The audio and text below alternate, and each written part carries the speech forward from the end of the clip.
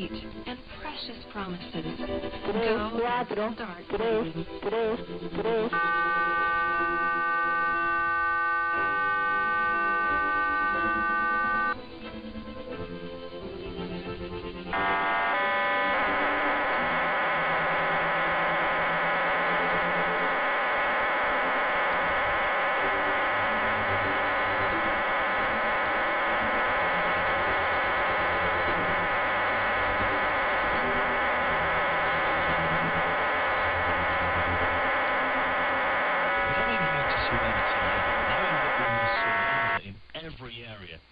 is so important during these last days. Yeah, you're right. It is, dos, Miles. siete, Artist. uno. Between now and the end, we're going to be faced with unprecedented dangers, dangers the world has never seen.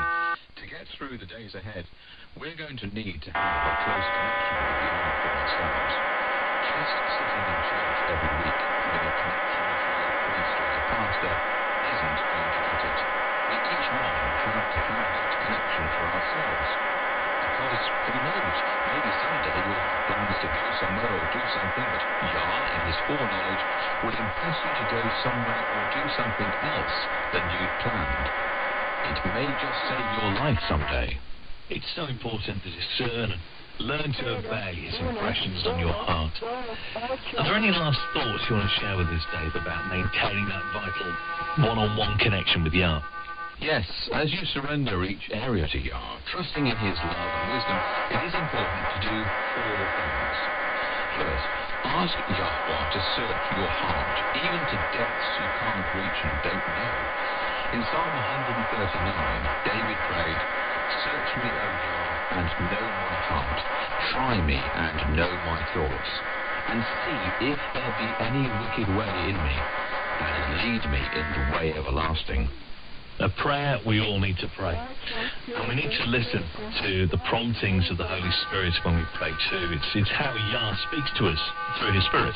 As the various areas are surrendered, if there are any points the Holy Spirit brings to your attention, confess them, claiming the promise of 1 John chapter 9.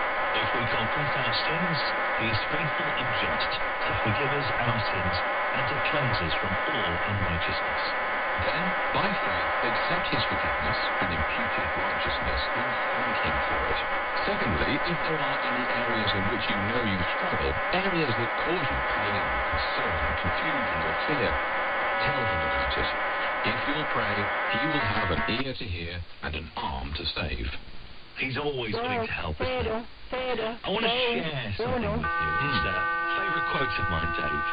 Uh, in talking about prayer, and it says, quote, Keep your wants, your joys, your sorrows, your cares, and your fears before Yahweh.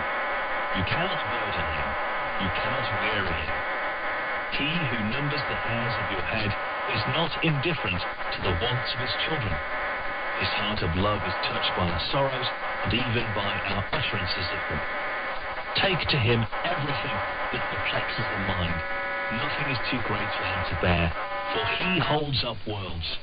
He rules over all the affairs of the universe. Nothing that in any way concerns our peace is too small for him to notice.